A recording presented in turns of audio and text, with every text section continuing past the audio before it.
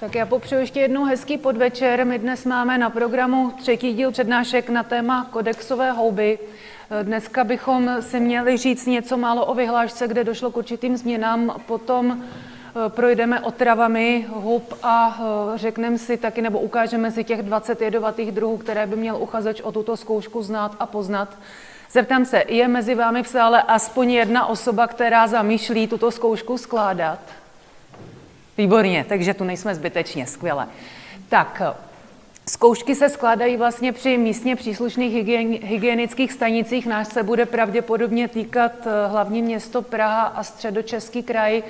Eh, pokud vím, tak je to podle adresy trvalého pobytu, takže na tu příslušnou hygienickou stanici je potřeba se zavčas nahlásit eh, a vyplnit, vyplnit patřičné přihlášky a dokumenty. Termíny pro Prahu už jsou dané na 18. května a 8. června. Termíny pro středočeský kraj jsou Zatím, zatím nestanovené, ale jsou každopádně v plánu na červen. Psal mi to, psal mi to pan inženýr Landa teďka o víkendu, ale termín se zatím neví, čili sledujte stránky, pokud tam patříte, tak sledujte stránky té hygienické stanice, ono se to tam objeví. Jaké jsou potřeba doklady? První věc, kterou je potřeba si zařídit, je osvědčení o zdravotní způsobilosti, což vydává praktický lékař na základě vyšetření zraku, což zase provádí oční lékař. Já si pamatuju, že když jsem šla za očařem s tím, že potřebuju zkoušku na houby, tak na mě chudák vědějšině koukal. Čili kdyby se ptali, je to v podobném rozsahu jako na řidičák, prostě vyšetření zraku a vystavení nějakého osvědčení, že vidíte, a praktický lékař vystaví něco ve smyslu, že jste způsobili eh, složit zkoušku na prodej hub. Eh, potom potřebujete výpis z rejstříku trestu, který by neměl být starší než tři měsíce a nakonec eh, kolek k úhradě správního poplatku. Myslím si, že to stojí asi nebo stálo asi pětistovku, jak je to teď, to se přiznám, nevím. Co se týče rozsahu, rozsahu požadovaných znalostí, tak eh, poznávačku vlastně jedlých a pěstovaných druhů, to jsme tady měli minule a předminule s eh, Petrem Součkem. Ta zkouška má dvě části. Písemný test a vlastně tu, tu praktickou část, což je poznávačka těch druhů. Ten písemný test eh, je potřeba zvládnout, měli byste správně odpovědět dvě třetiny otázek, přičem eh, otázky na otravy tam bývají tři a nesmí být ani jedna chyba v nich. Pokud je chyba v eh, těch otázkách na otravy, tak automaticky to znamená, znamená neúspěch, čili na tohle pozor. Měli byste znát členění hub na skupiny a podskupiny, jednotlivé znaky skupin a podskupin, což je součástí té vyhlášky. Dneska to ve stručnosti projdeme. Požadavky na jakost zdravotní nezávadnosti hub, způsob sběru, značení, způsob transportu, třídění, zpracování, podmínky přepravy, skladování, balení a prodej, což zní všechno úplně, abych tak řekla šíleně, ale ono je to v té vyhlášce ošetřené několika málo větami, několika malými odstavci a vlastně je to všechno potom součástí toho testu nebo můžou, můžou na tom v tom testu padnout zkouškové otázky. Při té praktické poznávačce už se na to potom, pokud by někdo moc neptal, nějaký dotaz by mohl zaznít, ale hlavně, hlavně je tohle vlastně ošetřeno tím testem.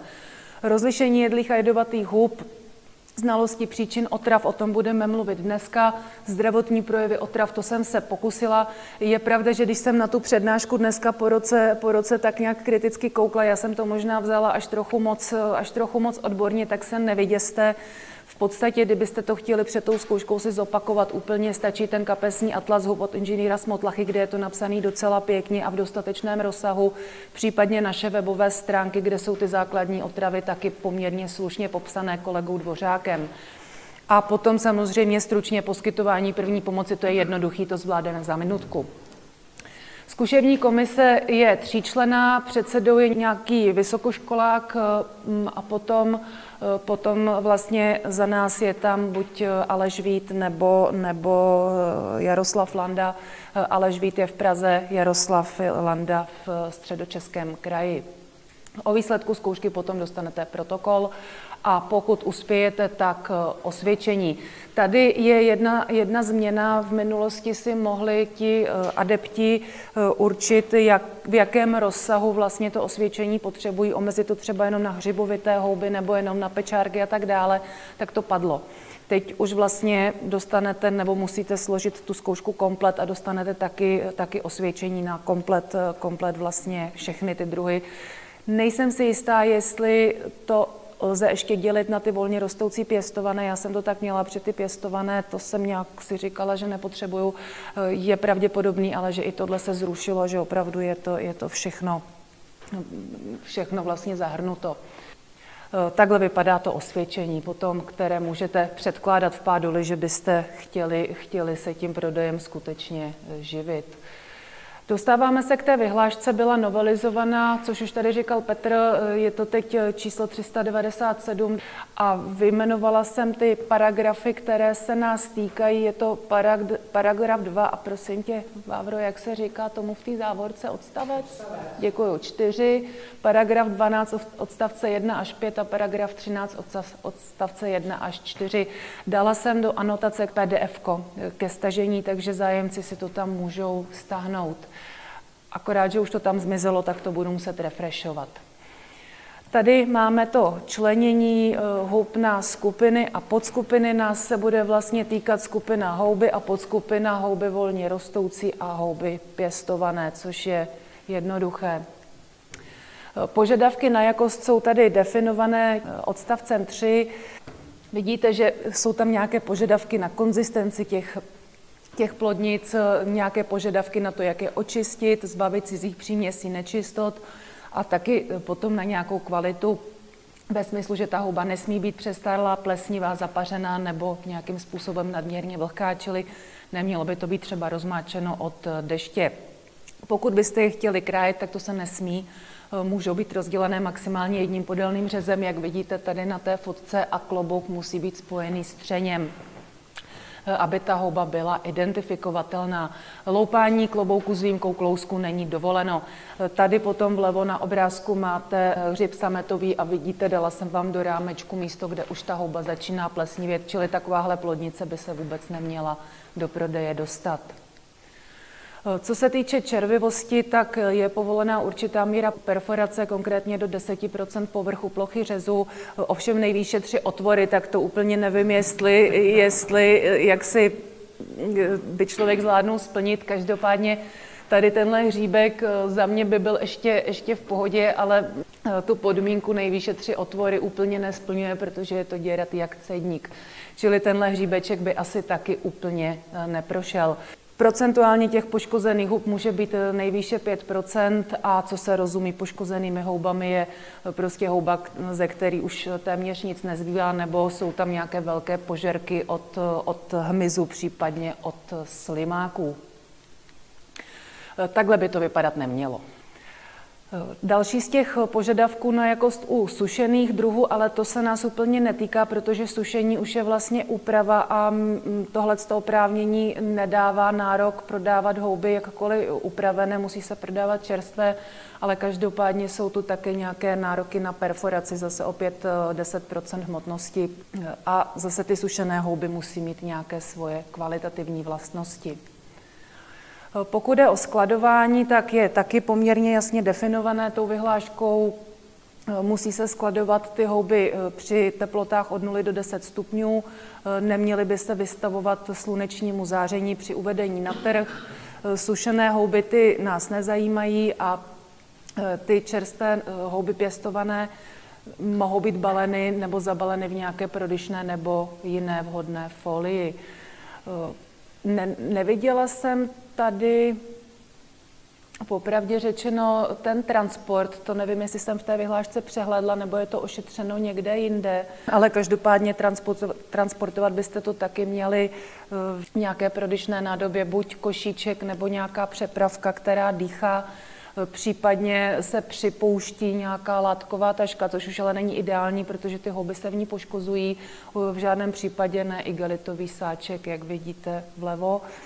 A Pokud ty houby chcete skladovat, tak by se měly skladovat maximálně ve dvou vrstvách. Jo, neměly by být, neměly by být prostě to nakupené, nakupené na jednu velkou hromadu.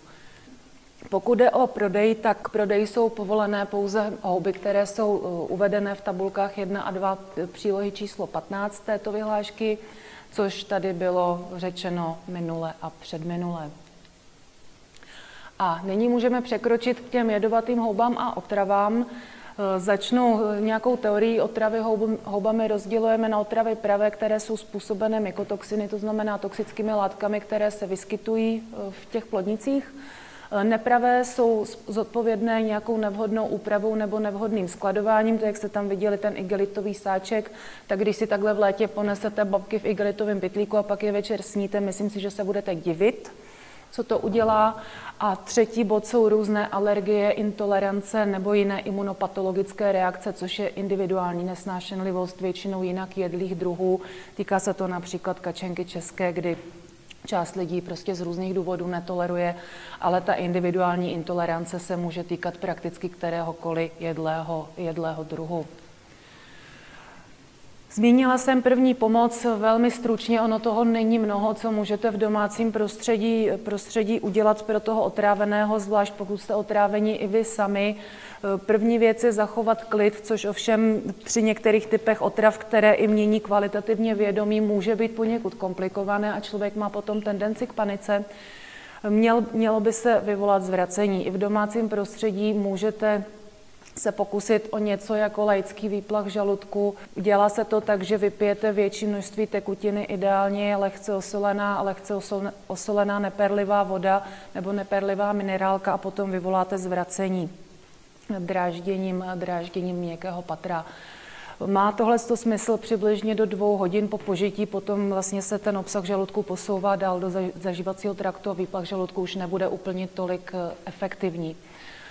Mělo by se samozřejmě podat větší množství tekutin k pití, nejlépe ten fyziologický roztok nebo lehce osolená voda, ale v žádném případě ne alkohol. To si prosím pamatujte.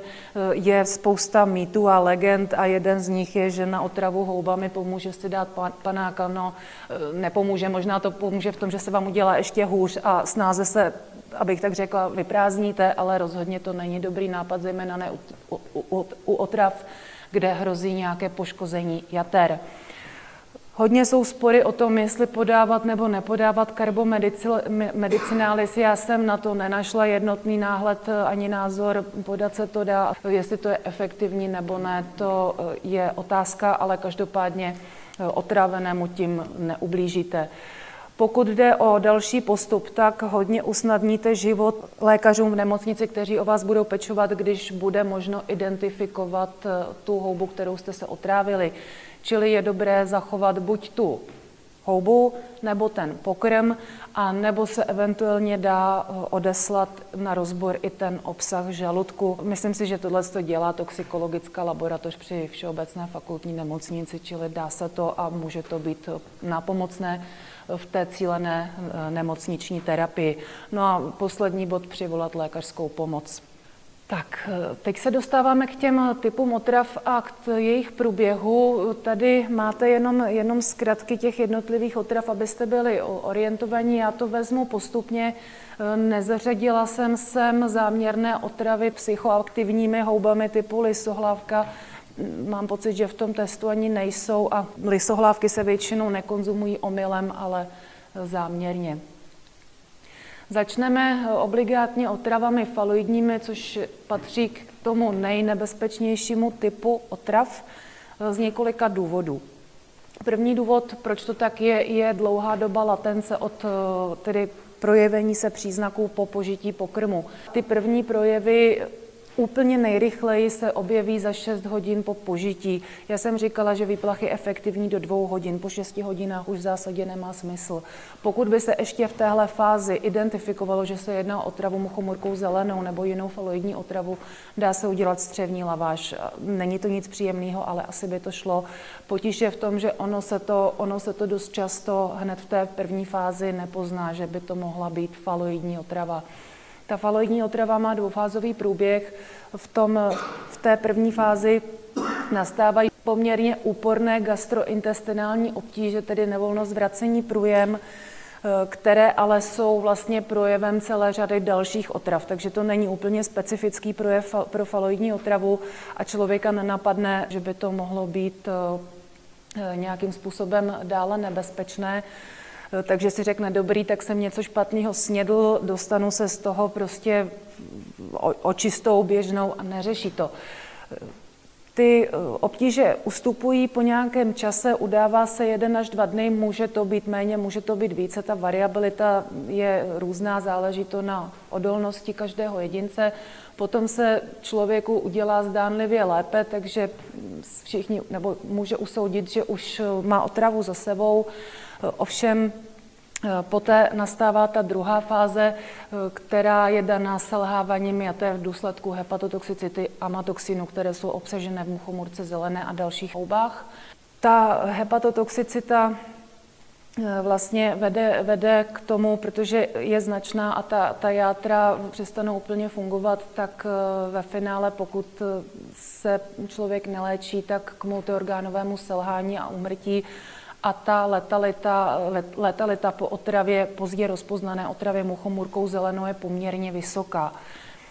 Jaké jsou houby zodpovědné za faloidní otravy? Muchomu, ty muchomurky zelená, zelená, bílá, jízlivá, jarní čepičatka, jehličnanová a potom některé bedly z rodu lepiota, třeba hnědu červená nebo chřapáčová. Toxíny, já už jsem jmenovala, Amatoxin je to skupina, skupina toxických látek. Udává se, že nejvýznamnější je ten amatoxin alfa. Co je, co je na nich nepříjemné, že jsou termostabilní, to znamená nelikvidují se varem, na rozdíl od některých jiných, které varem zlikvidujete. A ta letální dávka je poměrně nízká, 0,1 mg na kilo. Je to cca přibližně tak, že jedna dospělá plodnice muchomurky stačí na dva dospěláky. Úplně spolehlivě. Potom jsou tam ještě další, falot, eh, další toxíny, mimo jiné falotoxíny, podle nich se jmenuje ta otrava, ale co jsem vyčetla v literatuře, tak ty jsou pravděpodobně méně významné, eh, nerezorbují se ze střeva dále, dále vlastně do oběhu, nakolik se podílejí na těch zažívacích příznacích, těžko říct.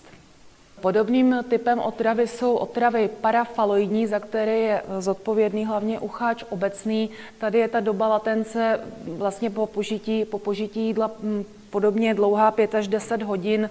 Je pravda, že tam není úplně tě, ten interval ty dva dny, ale i tak je to poměrně dlouhá doba na to, aby zase byl efektivní výplach žaludku. K projevům opět patří nějaké gastrointestinální obtíže, ty provázejí naprostou většinu otrav ale co je tady, co je tady eh, problematické, jsou projevy neurologické eh, typu ataxie, což je porucha koordinace. Mm, člověk s ataxí vypadá, jako kdyby požil větší množství alkoholu, než je pro něj zdrávo a i nějaké, i nějaké křeče, které mohou imitovat epileptický záchvat. Navíc ty toxiny jsou schopné hemolýzy, poruchy okysličování té krve a opět je tu určitá míra hepatotoxicity, která po expozici nebo po požití velké dávky toxinu může vést až k selhání jater. Léčba DTTO jako, jako u muchomurky zelené žádnou specifickou terapii, kromě komplexní anesteziologicko-resuscitační péče nabídnout neumíme. Riziko úmrtí tady není tak velké jako u faloidních otrav, ale i tak se to odhaduje na přibližně 10% Je to dost striktně závislé na tom, kolik toho, kolik toho gyromitrínu do sebe člověk dostane. Co se týče gyromitrinu, tak ten je na rozdíl od amatoxinu termolabilní, to znamená, rozkládá se varem a navíc je prchavý, takže se i vypaří. A dá se eh, do určité míry vlastně z těch hub vyeliminovat, pokud se nějak před konzumací povaří, ta voda se slije, udělá se to několikrát, tak čistě teoreticky máte k jídlu docela bezpečnou houbu. Eh, někde se ucháče dokonce běžně konzumují, ovšem kolega Klener o tom měl hezkou přednášku a platí, že určité množství toho gyromitrinu v těch houbách a i tak zůstane, i když tohle ten postup zopakujete několikrát, Vzhledem k té hepatotoxicitě asi nemá úplně smysl pokoušet konzum, konzumovat ucháče a spíš si najít něco jiného. Mechanismus otravy je, že ten gyrometrin se eh, při metabolize, jak se metabolizuje, mění na monometylhydrazín, což je nějaká šílenost, která se snad používá do paliv dopravních letadel. A ten monometylhydrazin interferuje s pyridoxin dependentními dráhami, což nám vadí hlavně v tom centrálním nervovém systému. Ovlivňuje to produkci různých neurotransmiterů, což vysvětluje ty neurologické projevy, které provázejí otravu ucháčem obecným. Mimo jiné jeden, jeden jakoby eh, z těch léčebných postupů, kromě té eh, resuscitační péče je eh, aplikace pyridoxinu nitrožilně, čímž se tenhle ten efekt trošičku vyeliminuje. Dalším typem otrav jsou otravy muskarinové. Tady naopak ta doba latence je velmi krátká, udává se do dvou hodin od použití pokrmu. Eh, někdo říkal, že už mu bylo špatně i vlastně v průběhu konzumace toho jídla. K projevům opět patří gastrointestinální obtíže a tady vlastně je celý komplex systémových projevů, které jsou dané vlastně tím, že zase ty muskariny interferují s některými receptory, hlavně v centrálním nervovém systému, ovlivňují neurotransmisy a to vede, to vede k těm systémovým projevům, které jsou ale dané tím, že ta neurotransmise v CNS není úplně v rovnováze. Patří k tomu vlastně rozšíření cév, z čehož člověk docela zčervená. Znáte to možná, když si dáte eh, v zimě, v zimě třeba grok, tak člověk, člověk trošku zčervená, začne se potit, zúží se zornice, začne více slinit, někde se udává i více slzet.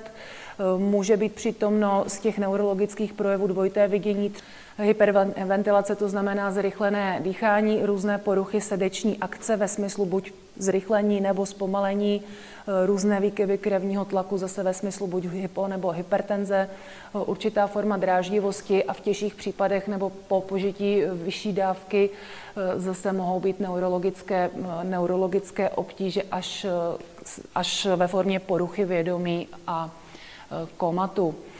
Jako antidotum tady lze použít atropin, který nějakým způsobem blokuje ty muskarinové receptory a vyváže, vyváže z nich ten muskarin, ale pokud vím, tak eh, když nezjistíte vlastně, které ty potravy máte, tak je to poměrně riziko, riziko ten atropin dávat. Každopádně pokud toho nesníte moc, tak úprava stavu je většinou spontánní za 12 hodin cca, kdy se ty, kdy se ty toxiny zmetabolizují, odbourají a člověk by se z toho měl dostat sám. Tady vlastně nejsou žádné, pokud vím, trvalé, trvalé následky, jako po otravě muchomurkou zelenou máte dost zdevastovaná játra, to by tady úplně být nemělo. Houby, které jsou za to zodpovědné, jsou eh, vláknice, mm, za chvilku růst, začne růst vláknice začervenala, ale jsou i další vláknice schopné vyvolat eh, muskarinovou otravu.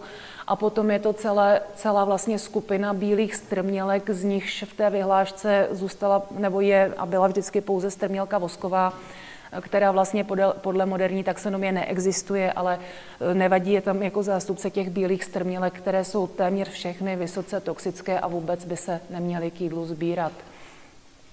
E, muskarinu jsme si řekli, má podobný efekt jako acetylcholin, akorát, že není rozkládán těmi příslušnými enzymy, což vede k nerovnováze v té neurotransmisi.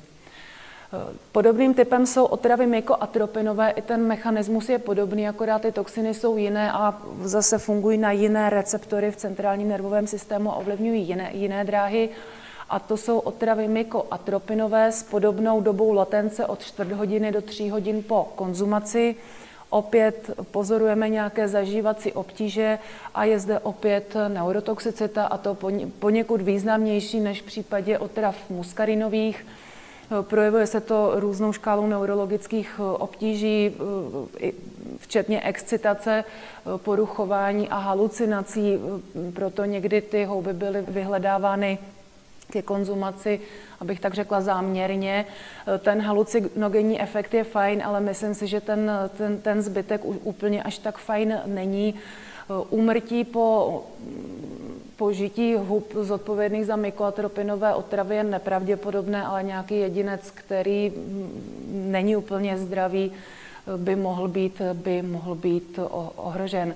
Zase symptomy odezní za nějakých 6 až 9 hodin celkem spontánně, ale Prý to také není vůbec nic příjemného. Těch pár lidí, co jsem měla tu čest poznat a měli osobní zkušenost s tímhle typem otravy, někteří si i pobyli na té jipce a říkali, že teda už by si to po druhý eh, nezopakovali. Zodpovědné houby jsou muchomurky tigrovaná červená královská, Toxinů ty houby obsahují, obsahují několik, z nichž hojně jsou zmiňované dva, a to sice kyselina ibotenová a muscinol, oba jsou, nebo jeden je derivát glutaminu, druhý gamma aminomáselné kyseliny a fungují zase tak, že se váží na ty různé, na ty různé receptory. Do detailu netřeba zacházet, protože z toho vás nikdo zkoušet nebude a tím opět ovlivňují tu neurotransmisi a způsobují hlavně ty neurologické příznaky. Potom dalším typem otrav jsou takové ty běžnější gastrointestinální otravy bez, dalších, bez další nadstavby, bez dalších projevů. Ty jsou nejčastější. To umí udělat celé spektrum různých, různých hub. Doba latence tady se od, pohybuje od jedné do čtyř hodin po požití a ty gastrointestinální obtíže tady skutečně dominují. Někdy můžou být velmi prudké, někdy můžou být až život ohrožující u jinak, u jinak křehkých jedinců. To riziko tkví zejména v dehydrataci, jako u všech vlastně gastroenteritit nebo jiných, jiných eh, těchto projevů. To, co ohrožuje člověka na životě nejvíce, je dehydratace. Pokud prostě den nepijete, jenom zvracíte a jinak ztrácíte tekutiny, tak eh, dojde nutně k metabolickému rozvratu. Čili první pomoc tady, kromě vyvolat zvracení, by potom bylo přijímat dostatečné, dostatečné množství tekutin, aby se člověk rehydroval, případně si koupit nějaký rehydratační rostok. Jak jsem řekla, ty gytotravy vyvolává mnoho druhů hub, co se uvádí typicky závojenka olovová a nebo zasyrová hřib satan. Toxiny jsou tam velmi různé, ono u řady hub ty toxiny ani nebyly dosud identifikované a vlastně nevíme, co přesně tu otravu způsobuje. Každopádně máme určitou empirickou zkušenost, které houby si můžeme dovolit jíst a které bychom jíst neměli. Pokud jde o syrové houby, tak uh, zmínila jsem, že některé toxické látky obsažené v houbách jsou termolabilní a prchavé, to znamená, varem se likvidují. Ty houby v atlasech jsou běžně doporučované ke konzumaci, jsou vedené jako jedlé, ovšem pokud tu tepelnou úpravu neuděláte úplně pečlivě, za mě pečlivě aspoň 20 minut vařit a ideálně potom tu vodu, vodu někam vylít, tak to může vadit. Ty gytoptíže, jak jsem zmínila, můžou být velmi profuzní. Z těch hub, které jsou jedovaté zasyrova, na prvním místě hřib satan, kde stačí opravdu malý kousek na to, aby se vyvolala poměrně intenzivní otrava. Neměla jsem nikdy odvahu satana ani ochutnat. Mirek říká, že když se to vyplivne, tak to údajně nic neudělá. Já jsem, říkám, zatím nesebrala tu odvahu do toho kousnout a pak to vyplivnout, nevím. Ale když to spolknete, tak i malý kousek, prostě něco, co se vám vejde za nehed od palce, je schopno vyvolat, vyvolat rychlou a prudkou otravu. To je dobré, jo, jako nemá nějak nepříjemnou, takže to právě jako vás mate. Ale jako obecně ty houby by se měly všechny vyplivovat, když chutnáte něco, co nespůsobuje tohle, jak měli vyplivnout, jo, a nejíst je si žádném případě. Tak eh, do jisté míry se ale tohle se týká všech hřibovitých hub. Hřibovité houby by se měly důkladně, důkladně tepelně připravit, nebo aspoň trochu tepelně připravit, než je sníte. Platí to pro Václavky, platí to pro bezprstené muchomůrky, eh, platí to do jisté míry pro ty smržovité houby a další. V Atlase eh, někde na to upozorňují, že ta houba se musí dobře tepelně zpracovat, nebo se explicitně píše, že zasyrová jedovatá v některých atlasech tahle ta informace chybí, tak na to pozor. Další kapitola jsou otravy čechratkou podvinutou, kde se přiznám, že jsem přesnou dobu latence e, nenašla a ono je to proto, že ona není známá. Tohle to není pravá otrava, je to uvedeno, je to uvedeno na tom slajdu. Je to otrava nepravá, která vlastně může přijít kdykoliv, protože to je imunopatologická reakce nikoli něco, co by způsobovala ta houba eh, toxiny, které jsou v ní eh, obsažené. Dochází jednak, jednak k anémii s, násled, s, následnou, s následným selháním ledvin a to selhání ledvin je hlavně v důsledku imunokomplexu, který, když to hodně zjednoduším, tak ty, tak ty ledviny vlastně ucpou. Eh, imunokomplex je antigen protilátka a ta imunopatologie spočívá v tom, teď to zase hodně zjednoduším, jestli to bude poslouchat nějaký imunolog, kousne mě, ale že si v podstatě vytvoříte něco jako alergii, začnete produkovat protilátky proti antigenu obsaženému v té houbě. Tohle se že jo, spojí spolu, už se to nerozpojí a je z toho, je z toho malér. Selhání ledvin se projevuje slabostí, bolestí zad a zástavou močení. Bylo to popsáno, což vydáme běžně u imunopatologických stavů po opakované expozici. To znamená, že člověk si musí tu intoleranci vytvořit. Popravdě řečeno, umím si představit, že u nějakého disponovaného jedince by to mohlo nastat i po prvním požití, takže já bych to neriskovala a tu houbu úplně, úplně vynechala. Když se podíváte do starších atlasů, ona byla uváděna jako jedlá celkem logicky, protože tohle to vlastně zautočí neúplně, neúplně podle pravidel a málo kdo to dá jasně do souvislosti se konzumovanou čechratkou podvinutou. Co přesně vyvolává tu imunopatologii, myslím, že se neví a jak jaký charakter mají ti disponovaní jedinci, to se taky neví, protože byli lidi, kteří se tím spokojeně živili celý život a vůbec nic jim nebylo, ale pak samozřejmě u části lidí to tu otravu udělalo. A myslím si, že poslední, co tu mám, jsou otravy orelaninové, to znamená otravy způsobené konzumací různých druhů pavučinců. Tady je ta doba latence, jak vidíte, taky, taky velmi dlouhá, 2 až 20 dní. A k projevům kromě nějakých mírných nebo chybějících gastrointestinálních obtíží v začátku eh, zase patří eh, ty projevy ze selhání ledvin, to znamená slabost, bolesti zad, oligurie, oligurie respektive zástava močení a selhání ledvin v důsledku nefroto, nefrotoxicity orelaninu. Eh, zodpovědné houby jsou hlavně okruh pavučince plišového, pavučinec plišový, pavučinec výjimečný, budou i další ale ten orelanin eh, obsahuje celá řada pavučinců.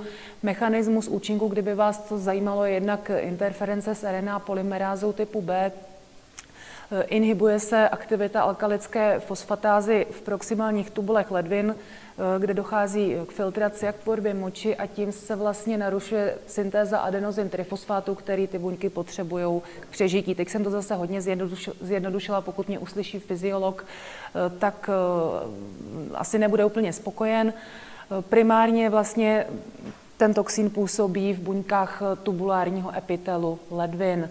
E, otázka, jestli produkce volných kyslíkových radikálů má e, na, na poškození těch ledvin nějaký další aditivní účinek. E, spekuluje se o tom, je to klidně možné. A tím bych zakončila tu část o otravách, čili seznam, seznam rozlišovaných jedovatých hub se řídí tady touto vyhláškou číslo 475 2002 sbírky a Stanoví se tam rozsah eh, v příloze dvě. Těch hub je 20, jsou to vlastně houby, které tady, které tady notoricky, notoricky opakujeme. Ne všechny z nich eh, jsou kvalifikované jako úplně vysloveně jedovaté, třeba hřib žlučník, spíš než cokoliv, prostě jednoduše není dobrý. Nicméně nějaké gastro, gastrointestinální obtíže může způsobovat také. Já jsem ty houby seřadila abecedně, pokud vím, tak při té praktické zkoušce on, on vám Aleš promítá vlastně fotku té houby, a v minulosti tam, aby vám trošku pomohl, byl latinský název. Jestli to zůstane, to se přiznám, nevím. Nicméně eh, Aleš na tohle jistě bude ochoten, ochoten odpovědět. Takže teď bychom si ty houby prošli. První je ta už zmiňovaná čechratka podvinutá. Nemá, pokud by nějaké preference, je jedno, jestli je to listná či hličnan. Vyskytuje se vlastně celoplošně. Najdete ji tady po Praze, najdete ji i, najdete ji i na horách. Preference nejsou, je to vlastně houba plevelná. Poznáte ji jednak, eh, ta textura klobouku a barva jsou poměrně charakteristické, eh, má podvinutý okraj, jak vidíte, má poměrně husté lupeny a co je pro ní typické, po poškození, po poškození ta plodnice začne napřed tak jakoby červenat, což je tady, tady vidět a potom později třeba za hodinku to až stmavohnědné, je to takové čokoládové, čili nevydrží pěkná moc dlouho. Nemyslím si, že byste si tuhle houbu dokázali vůbec něčím splést. Mladý plodničky v horské smrčině můžete na první pohled zaměnit s hřibem hnědým, ale v momentě, kdy to seberete, tak si velmi snadno uvědomíte svůj omyl. Tady máte ještě potom ty mladé plodničky, kdy dobře, ta úplně vpravo bychom mohli říct, že by mohla být podobná nějakému tomu vybledlému hřibu hnědému. Druhá z těch hub je čirůvka odlišná, to, eh, ta naopak má specifické ekologické nároky, je to teplomilná houba preferující listnáče. Nevím, jak moc vyžaduje bazické podloží, ale řekla bych, že úplně kyselý, kyselý, kyselý tolerovat nebude. Eh, za mě není moc hojná, já s ní úplně nejsem až tak obeznámená, co jsem je viděla loni poprvé, tak eh, se ale dají poznat, skutečně mají takový žluto, žlutý, žluto-zelenavý až olivový nádech klobouku, jsou poměrně, eh, poměrně robustní, na čirůvku jsou to, jsou to velké, velké plodnice a Zdály se mi poměrně křehké, ale to mohlo být tím, že už se po nich předtím někdo prošel, takže nedrželi úplně pohromadě. Každopádně mm, k čemu bych to připodobnila, podobná může být ve smrčinách rostoucí čirůvka mídlová, která je cítit po saponátu, jinak mi přijde, že vypadají poměrně, poměrně podobně, akorát ta ekologie se liší a jedlá není ani jedna. Tady máte ještě potom pohled do lupenů. Další z těch čirůvek, která jsem byla zařazená, je eh, čirůvka sírožlutáta. Eh, vyrůstá hlavně na podzim. Kromě té nápadné, nápadné opravdu žluté barvy, eh, ona je velmi, ale opravdu velmi výrazně cítit po svítiplinu. Dokonce i lidi, kteří nemají úplně, abych tak řekla, super čich jako já, tak to prostě cítí. Jo, je, to, je to velmi nápadný znak. V porovnání třeba s čirůvkou zelánkou, tahle je o něco drobnější a odlišíte ji spolehlivě po čuchu. Tak tady jsou, tady jsou ještě, ještě další plodnice, jsou takové gracilnější.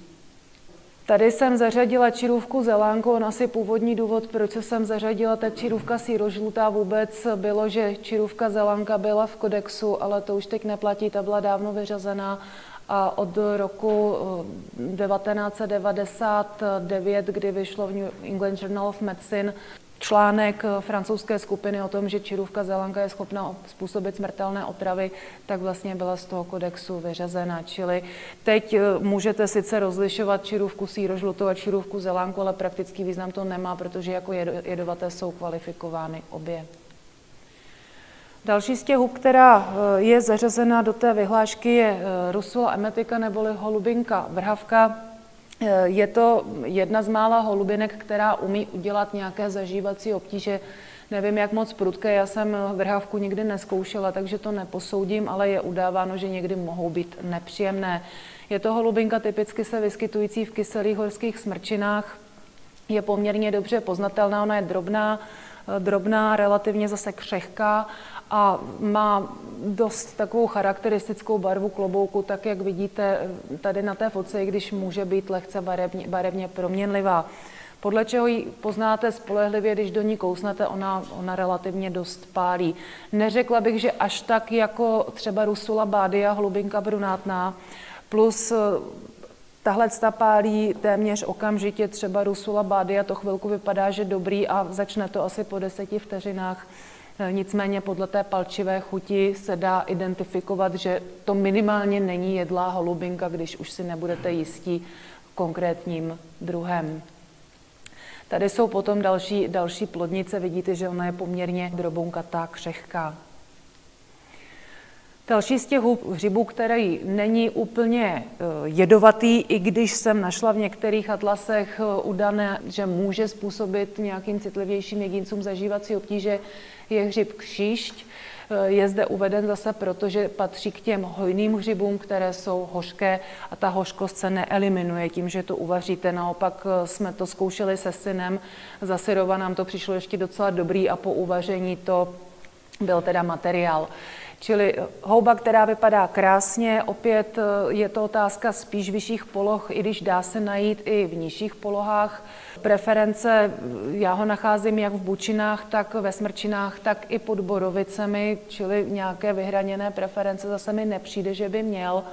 Co je na něm zajímavé, on je krásný na pohled. Je poměrně hojný na Javorníku na Šimově, kam jezdím a méně znalí hlavně turisté, kteří když tam přijedou, zjistí, že to tam roste všude, všechno, tak jsou celý natěšení a s, vel, s velkou oblibou ho sbírají. A když jim se snažím tak opatrně vysvětlit, že touhle houbou si trošku skazí večeři, oni se ho odmítají vzdát, protože říkají, takhle pěkný hříbek přece musí být jedlý. No, není. Je pravda, že potom chodí někteří zpětně, za mnou říkají, no my jsme googlili a teď jsme zjistili, že vlastně ta houba není jedla a co máme dělat. A řeknou mi to den po tom, co ho skonzumovali. Já říkám, no tak teď už nic, pokud se vám nic nestalo, tak vlastně dobrý, ale příště ho nejeste. To je asi k němu všechno. Tady vidíte tu plodnici na řezu, on poměrně, poměrně hezky modrá. Další z těch hub, ten už je jedovatý, zmínila jsem ho, je hřib satan. Ekologie hřibu satanu je zase, je to teplomilný druh, poměrně, poměrně bazofilní. Vazbu má na listnaté stromy, hlavně duby, ale má se rád třeba i s lipami. Je to houba, která je vzácnější, protože lokalit, které on by toleroval, není už mnoho. Na druhou stranu dokáže vyrůst na místech, kde byste vzácnou houbu nečekali. V městské zástavbě, kde je lípa, ono se mu tam zrovna, zrovna náhodou líbí, tak tam prostě vyroste, ale jinak je to záležitost těch teplejších, teplejších zásaditějších doubrav. Zase vidíte na řezu, že patří k těm hřibům modrajícím. Ten vzhled, vzhled je poměrně typický, krásný, krásný takový stříbřitý klobouk a pokud jsou to typické plodnice, tak nápadně červený třeň i červené ústí rourek. Pokud ty plodnice nejsou typické, tak to takhle hezky nevypadá. Každopádně platí, že takhle vypadající, modrající barevné hřeby by se vůbec neměly konzumovat, protože buď jsou jedovatý jako ten satan, no nebo jsou vzácný a měly by se chránit, nikoli jíst. Tady máte ještě několik, několik dalších plodnic, detailní pohled do rourek a tu houbu potom obrácenou. Další z hřibů, který jsem byl zařazen, je hřib žlučník. Ten je poměrně notoricky známý. Je to zase houba, která eh, trošku upřednostňuje mi přijde vyšší polohy a jehličnaté lesy, ale dokáže vyrůst i v lesích listnatých. Viděla jsem ho v Doubravě, i když tam neroste tak úplně ochotně. Je to houba celkem typická eh, s růžovým úzkým rourek, když jsou ty plodnice starší s velmi výraznou síťkou natření a s velmi výrazně hořkou chutí.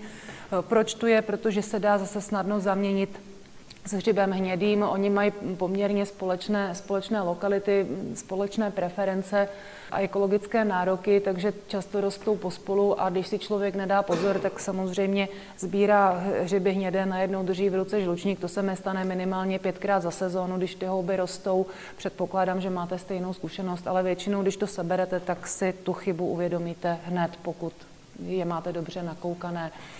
Jinak eh, na té houbě asi není celkem nic zajímavého, je hojný. Eh, tady je potom ještě několik zase typických plodnic. Vidíte, že je to tohle z toho obojí foceno, foceno v nějaké smrčině. Dostáváme se k muchomůrkám. První z muchomůrek eh, je muchomůrka červená. Tady asi, co se týče identifikace, to nemusím vysvětlovat nějak explicitně, je to muchomůrka, je červená. Co se týče výskytu, tak vlastně je rozšířená celoplošně, najdete ji jak v Praze, tak, tak na horách, tak i kdekoliv. Mezi je to hojná houba, velmi snadno identifikovatelná. Co se může stát, a nevím, jestli to tu Aleš vyfotil, nevyfotil, Někdy, jako vidíte tady na té plodnici úplně vlevo, tam nejsou ty šupinky, ty zbytky, zbytky vela na klobouku a někdy se umí ze zhora maskovat jako červená holubinka, takže si umím představit, že by si někdo mohl zmílit s červenou holubinkou, pokud je úplně hladká, ale v momentě, kdy se berete, otočíte, vidíte prsten, no tak už je vám jasné, že se o holubinku nejedná. Tady jsou nějaké plodnice vyfocené, vyfocené koukám v zimě. Ona eh, roste do poměrně pozdních měsíců. Já přemýšlím, kdy jsem ji viděla nejpozději. Prosím? Prosinec. Eh, konstitucí podobná a příbuzná je muchomůrka královská. Ta eh, není až tak rozšířená jako muchomůrka červená. Roste, pokud vím, ve vyšších polohách, hlavně ve smrčinách Konstitucí je to podobné, vypadá to velmi podobně jako muchomurka červená, liší se to trošku barvou, která má charakter takový, někdo říká játrový, někdo by řekl světle hnědý, barevně je poměrně proměnlivá, ale poznat se to dá. Zase patří k dobře identifikovatelným druhům, které člověk normálně k jídlu nesebere. Tady už by možná s hodně velkou dávkou kreativity hrozila záměna za muchomurku růžovku. Každopádně muchomurka královská vám nezrůžoví. I kdybyste ji přemlouvali nevím jak dlouho, tak ta dužnina zůstane bílá. A poslední do party je z nich asi nejjedovatější, nebo má nejvíc těch toxinů muchomůrka eh, tigrovaná, Amanita panterina. Eh, ta má ekologické nároky eh, podobné jako třeba muchomůrka zelená. Roste v teplejších oblastech, má vazbu na listnáče, zase hlavně duby. Pozná se podle několika znaků, nevím, jestli to dobře uvidíte. Eh, má hladký prsten, na rozdíl třeba od masáka, tady to moc dobře vidět není. Eh, má, neřekla bych úplně kalich, ale takovou, jako když pochvičku, přeci jenom při, při, bazitřeně, při bazitřeně identifikovatelnou, což masák nemá, a mývá rýhovaný okraj klobouku. Na rozdíl třeba od čedivky, která ho má hladký. Ale pravda je, že ty plodnice jsou různě modifikované, atypické a já jsem kolikrát držela v ruce muchomurku, přestože si myslím, že od sebe umím odlišit, tak jsem nevěděla. Protože ten vzhled byl natolik atypický, že jsem si nebyla jistá, jestli je to muchomurka tigrovaná nebo muchomurka šedivka. V takovém případě je nejlepší akce vyhodit. Tady je potom několik dalších fotografií různých plodnic. Vidíte, že zase ta barevná proměnlivost, proměnlivost je značná. Tady o tomhle bych na dálku řekla klidně, že jsou to šedivky a vůbec bych se nerozpakovala, nerozpakovala to tak určit. Poslední, myslím, z těch muchomůrek, co tu je, ale způsobující jiné typy otrav než ty předchozí, je muchomůrka zelená a ty její příbuzné jízlivá jarní. Tady vidíte typického zástupce muchomurky zelené, která je typická, má krásně zelenou barvu, eh, výraznou pochvu. Eh, musím konstatovat, že proměnlivost eh, barevná muchomurky zelené je značná, existují, existují různá vybarvení od úplně bílé po takovou, řekněme, umbro, do limetkové, do zelené, do olivové. Viděla jsem i takového něco, co bylo, bylo šedozelené a už by člověk v tom vůbec nehledal muchomůrku zelenou. Viděli jsme eh, s Mirkem loni natočný jednu extrémně atypickou plodnici, která skoro nebyla k poznání, vůbec si nebyla podobná. To, co máte tady, jsou typické plodnice v různém, v různém stádiu vývoje. Takhle vypadají ty mladé plodničky, jsou ještě zabalené zabalené ve velu, vypadá to trošičku jako vajíčka hadovky smrduté, taky už byla popsaná, popsaná vlastně záměna neznalými houbaři za hadovku smrdu, smrdutou, protože si nazbírali ty vajíčka, mysleli si, že to je hadovka. Potom si všimněte, že ona je málo kdy šupinkatá, jako ty předchozí muchomurky, ty měly na, na kloboučku šupinky, tahle ta buď je úplně hladká, anebo tam má takový jednolitý zbytek vela, jak vidíte na té plodnici třetí zleva. Barva dužniny, barva lupenu, respektive výtrusného prachu je vždycky bílá a eh, je tam ta, je tam ta nápadná pochva. Tady je potom ta bílá varieta, vidíte, že jsou to mladé plodničky, já jsem často viděla, ty mladé plodničky byly úplně krásně bílé a ono, když, když trošku dorostou, tak oni potom dozelenali teda. Čistě bílou varietu dospělou jsem, jsem viděla málo kdy, nicméně tady tady někdo z kolegů zachytil, je to, je to prostě bílé, jinak ty typické znaky jsou tam přítomné stále. Ty bílé variety jsou nebezpečné v tom, že jsou snáze zaměnitelné za některé houby. Typicky si to lidi pletou s pečárkami, nevím proč, protože muchomurky jsou světlovýtrusé, pečárky tmavovýtrusé, což je spolehlivě odliší. Tady je potom příbuzná muchomurky zelené, muchomurka jízlivá, má trošku jiné ekologické nároky, na rozdíl od muchomůrky zelené, která je teplomilnější, zase spíš preferuje listnáče, tak muchomůrka jízlivá roste ve vyšších polohách a má ráda smrčiny. nebo jehličnany obecně.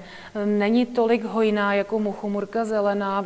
Já jsem třeba na, já nevím, 20 plodnic muchomurky zelené viděla jednu tuhle tu jízlivou a už se hledá ale když má někdo, no řekněme, buď štěstí nebo smůlu, jak se to veme, tak jich najde hodně. Když usoudí, že jsou to krásné lesní žampiony, tak je zase malér na světě. Ty znaky jsou obdobné eh, jako u muchomurky zelené, je taky přítomná výrazná pochva, má trošku jinou konstituci, jiný charakter třeně, který bych tady řekla, že je tak jako nepravidelně, nepravidelně žíhaný a malinko, malinko, řekněme, jiný tvar, ale odliší spolehlivě ta ekologie, ty dvě houby od sebe. Od ostatních druhů se zase pozná, nebo žampionů se pozná tím, že je světlový trusa, žampiony nikoli. Tady potom jsou ještě nějaké další plodnice, jedna, jedna dospělá. Co je tu dál? Zástupce nejedlých nebo respektive jedovatých žampionů, konkrétně pečárka zápašná. To v podstatě teď už trošku postrádá smysl, protože volně rostoucí pečárky byly vlastně vyřazené z kodexu, takže ty už se nezbírají, ale každopádně pro poučení a pro zkoušku existují i jedovaté druhy žampionů. Tohle je typický zástupce, je to velmi hojná houba, roste na rudeárních eutrofizovaných stanovištích, typicky městské parky, takové ty pruhy trav kolem chodníku, kde chodí psy a v dobrých, nebo když je dobré počasí, tak toho můžete vidět i po Praze, po Praze velmi, velmi mnoho. Pozná se od jiných žampionů podle několika znaků, jednak jak název napovídá, on nevoní. On je cítit eh, dezinfekcí karbolou, zvýrazňuje se to trošku, když se ta houba vaří, tak ten zápach, zápach je potom intenzivnější.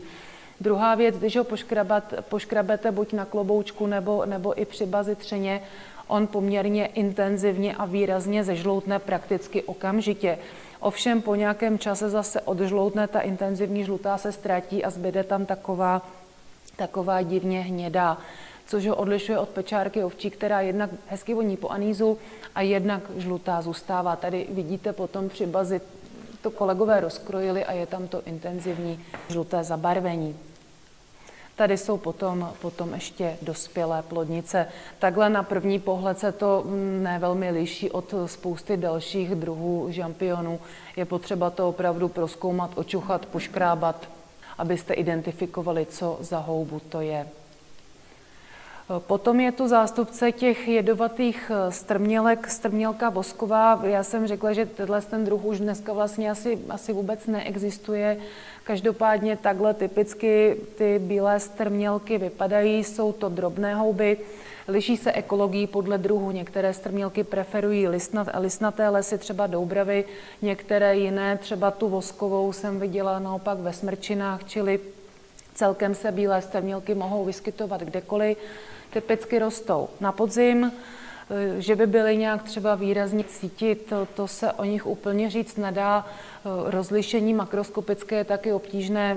Člověk pozná, že to je strmělka, že to je bílé, ale který konkrétně druh, na to většinou musíte mít nějakou erudici nebo mikroskop. Každopádně ty typické znaky strmělek si pamatujte, bývají drobný a mývají lupeny, tady, tady tato úplně nemá, ale většinou, většinou zbíhavé, zbíhavé eh, dolů, eh, dolů na třeň. Jsou světlový truse, takže lupeny zůstávají bílé. Tady je zase skupinka strmělek focená, tohle to byla asi nějaká dubohabřina, koukám na to listí. Dalším druhem je eh, třepenitka svazčitá, je to vlastně houba, která roste celoročně.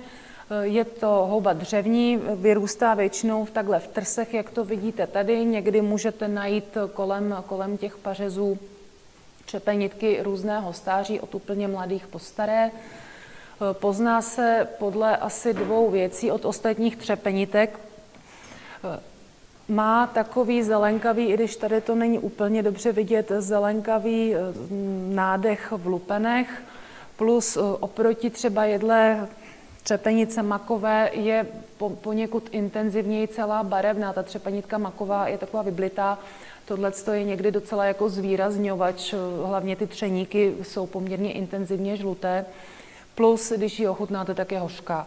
Velmi, velmi výrazně hořká takže to se nespletete.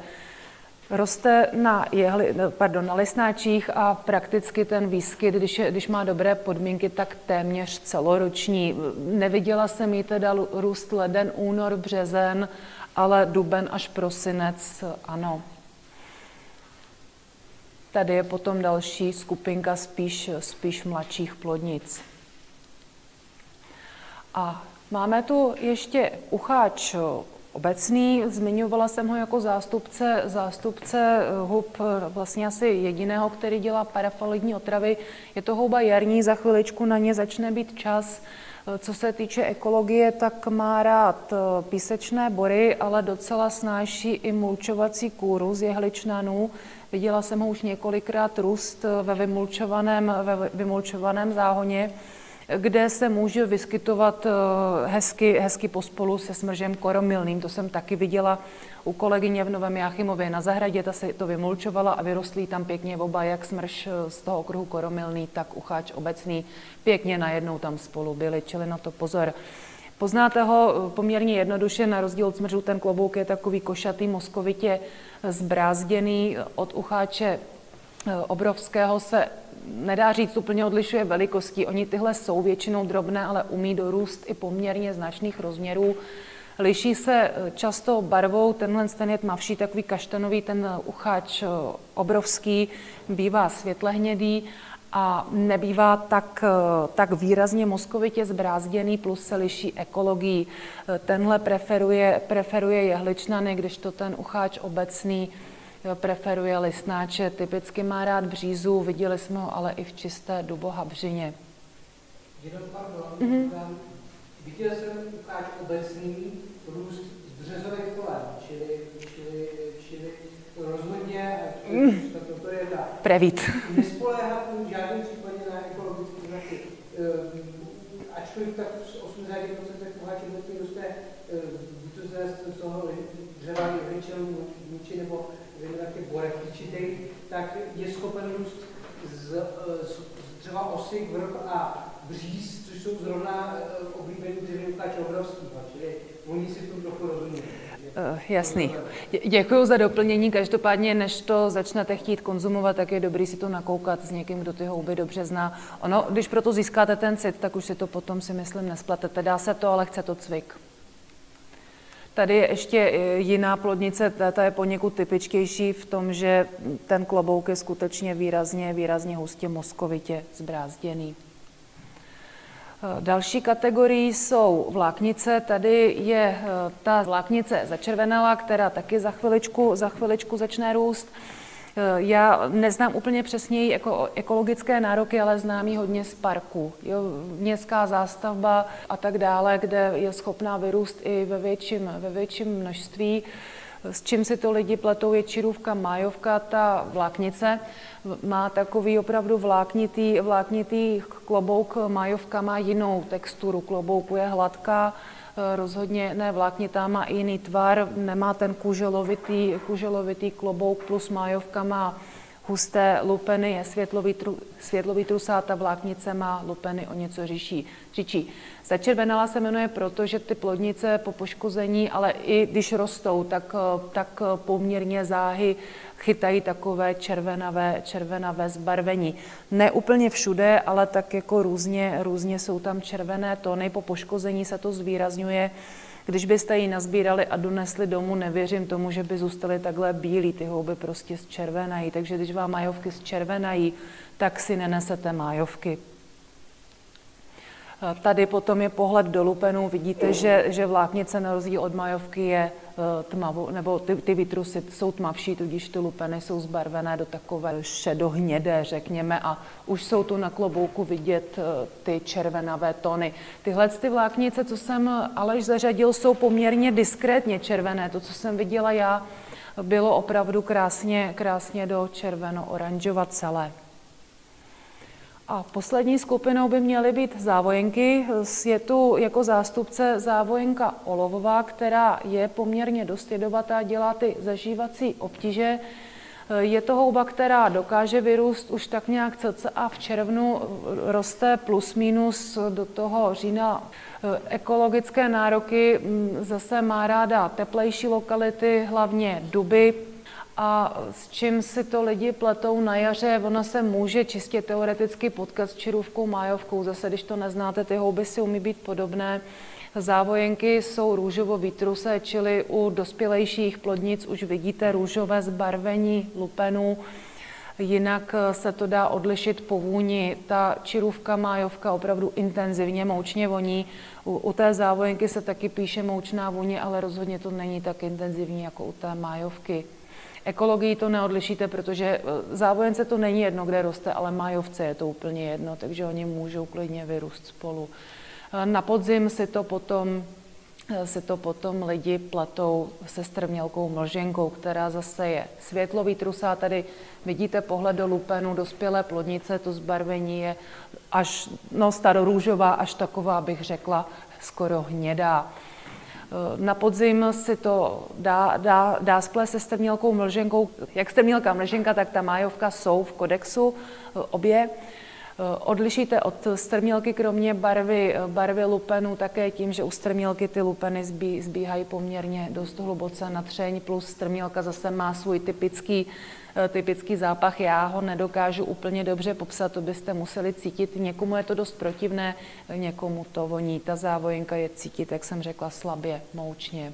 Když lidi sbírají opravdu ty malé smrkový řídky, když jsou ještě bílí, a je to třeba v Účině, tak se tam najdou i tyhle ty závojenky. Hele, četla jsem to... Jsem to na vlastní oči, sebral jsem ho a když jsem tu houbu zvedl a otočil, jsem zjistil, že to není hříbek, ale vypadal to stejně jako hříbek, který tam byly okolo. Takže dají se Četla jsem to, ne, neuměla jsem si to popravdě řečeno představit, jo, tak někdy, někdy se na ně musím podívat za mlada. Když si toho všimneš ne tak dobrý, četla jsem malej, že si toho někdo nevšim, eh, nevšim do, dokud to nesnět, pak už si člověk všimne spolehlivě. Tohle by měla být, eh, myslím, poslední závojenka po starou zvonovka jarní, ta poroste teďka za chviličku, dělá zase poměrně, poměrně nepříjemné zažívací otravy. A teď přemýšlím, jo, je tady zařazena z toho důvodu, že vyrůstá ve stejné době jako závojenka podtrnka. Ten charakter eh, závojenky jarní je poněkud jiný, ty plodnice obecně jsou drobnější, křehčí, eh, liší se taky ekologií, ona roste v listnatých lesích, kdežto podtrnka i sadovka jsou vázány obě, tuším, striktně na růžokvěté dřeviny. Eh, takže když to najdete v lese, eh, kde jsou třešně, tak, tak blbý, protože to můžou být obě. Eh, když to najdete v sadu, tak to pravděpodobně není ona. A poznáte ji jednoduše, nevím, jestli to tu Aleš vyfotil, vyfotil v detailu, ona má dvojitě vmáčklý třeň, což je tady tenhle ten detail, na jiný fotce to úplně dobře vidět není. Každopádně, když to proříznete příčně, tak to vypadá jak ležátá osmička.